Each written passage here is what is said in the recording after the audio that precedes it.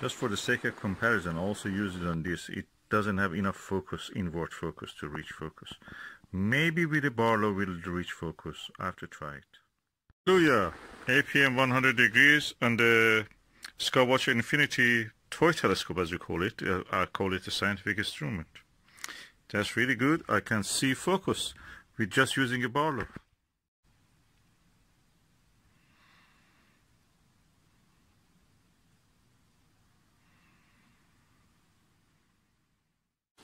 The only problem using this is that with one hand I have to hold this. Oh, I don't need even to hold it. Uh, Ta-da! The APM 100 degrees is almost the size of the telescope itself. and it worth, I mean, about this far, the telescope 5 pound. The eyepiece, I think, 200 pound.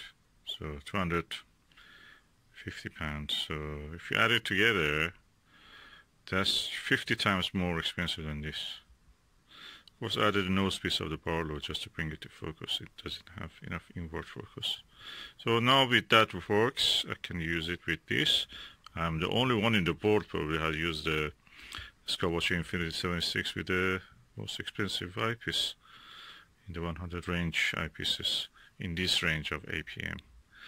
Spacewalk experiment with this.